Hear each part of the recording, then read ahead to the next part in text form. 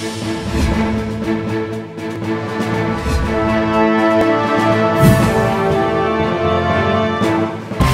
Enario de Rosales, con una inversión superior a los 39 millones de pesos, el mandatario Silvano Aureoles Conejo inauguró el juzgado oral penal y salas tradicionales y develó una placa en la ciudad judicial en el marco del tercer informe de labores del presidente del Supremo Tribunal de Justicia del Estado, Juan Antonio Magaña de la Mora.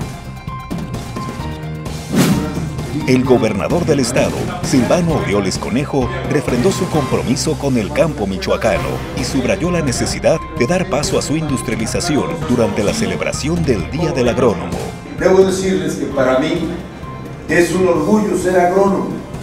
Me da mucho gusto que el destino me haya puesto en esta circunstancia. En el mismo evento, entregó el reconocimiento al mérito agronómico a seis especialistas en la materia.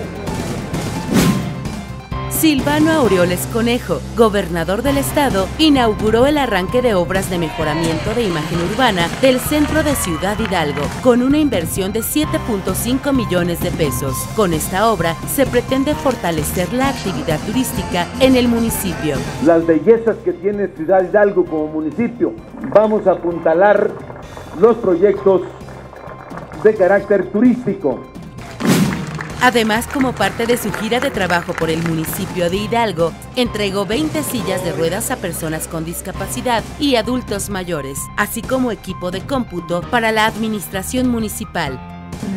El mandatario estatal, Silvano Aureoles Conejo, firmó junto con los titulares de los poderes legislativo y judicial el decreto administrativo de medidas de austeridad, transparencia y eficiencia del gasto público de la Administración Pública del Estado.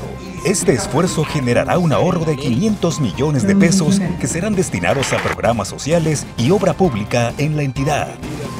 Con estas medidas iniciales, ratifico el compromiso de mi gobierno de atender de manera responsable el reclamo de la sociedad, de ejercer de mejor manera los recursos públicos